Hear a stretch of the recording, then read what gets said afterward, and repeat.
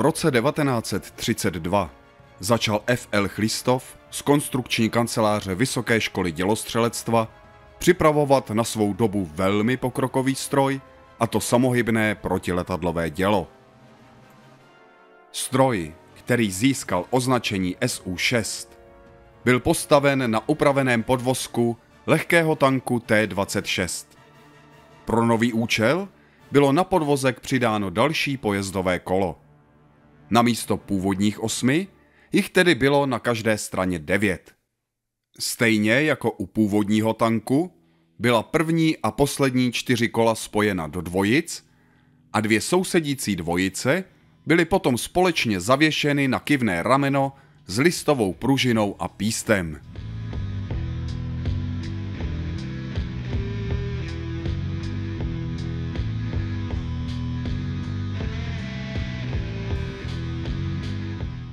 Nové, deváté kolo, bylo instalováno uprostřed a mělo vlastní píst. U původního tanku však písty vůbec nebyly. Důvodem jejich instalace byla pravděpodobně nutnost zvládnout větší tlak a otřesy při střelbě ze silné zbraně. To byl pravděpodobně také důvod pro přidání devátého pojezdového kola. Spolu s podvozkem byla z tanku převzata také pohoná jednotka a další agregáty.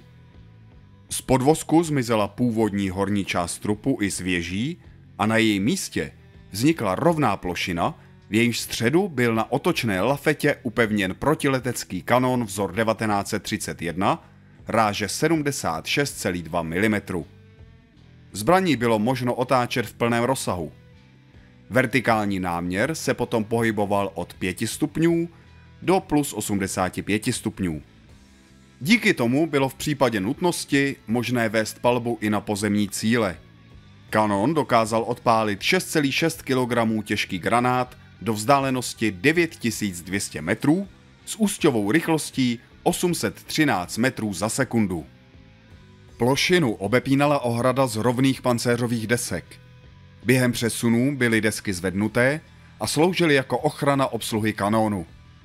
Přední a zadní stěna této ohrady byla opatřena střílnou pro kulomet DT. Na palubě byly tyto kulomety dva. V rámci přípravy k palbě se desky sklápěly, aby umožnili otáčení zbraně. Přední a zadní deska pak ležela na trupu, boční desky se podepíraly vzpěrami. Potom byl kanón i jeho obsluha zcela bez ochrany.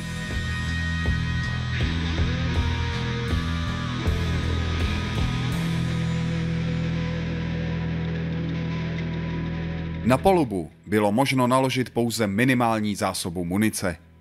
Další střelivo musel převážet doprovodný nákladní automobil. Osádka samohybného děla bývala uváděna jako šestičlená. Teď se dopustím čistě subjektivního komentáře, ale neumím si dost dobře představit, co vlastně dělali dva až tři muži z těch šesti uváděných. Leda, že by tento údaj pokrýval i osádku doprovodného nákladního automobilu.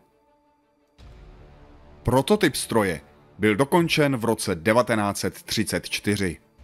V roce 1935 snad vzniklo ještě několik dalších ověřovacích exemplářů.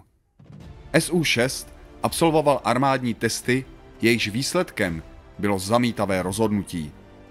Důvodem byla pravděpodobně hlavně technická nedokonalost. Podvozek tanku byl během střelby neúměrně namáhán a měl díky tomu sklon k častým poruchám. Značnou nevýhodou byla také prakticky nulová úroveň pasivní ochrany obsluhy zbraně a nutnost doprovodného automobilu. Sériové výroby se tedy SU-6 nedočkal.